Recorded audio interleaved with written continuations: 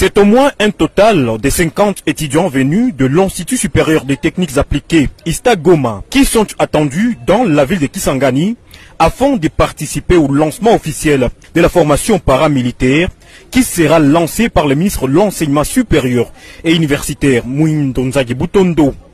C'est mercredi 8 novembre 2023 un premier lot composé de 18 apprenants a pris le vol de Goma pour Kisangani. Les 32 autres pourront quitter Goma ce jeudi 9 novembre en vue de rejoindre leurs camarades. Un mois durant, les étudiants congolais, dont ceux des provinces du Nord Kivu et de la Chopo, ainsi que du Congo central, seront formés sur les techniques de guerre en cas d'agression.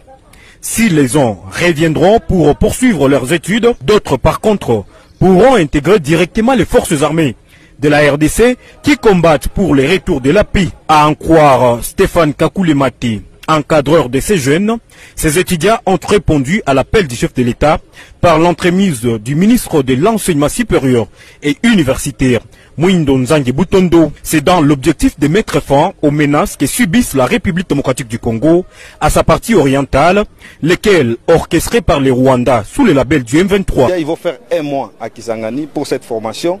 Et après, ils vont revenir continuer avec leur cursus académique. C'est une formation morale pour renforcer le patriotisme dans notre jeunesse. Vous savez que notre pays est attaqué depuis longtemps par les ennemis de la paix, les pays voisins. Ça, c'est un message fort que nous laissons à ces pays voisins qui ne cessent d'attaquer la République. Qu'ils sachent qu'il y a une jeunesse prête à défendre ce pays. De leur côté, les participants à cette formation paramilitaire se disent déterminés à défendre l'intégrité territoriale de leur pays. Pour eux, la guerre imposée à la République démocratique du Congo par les Rwandais est une provocation de trop qui mérite une solution définitive.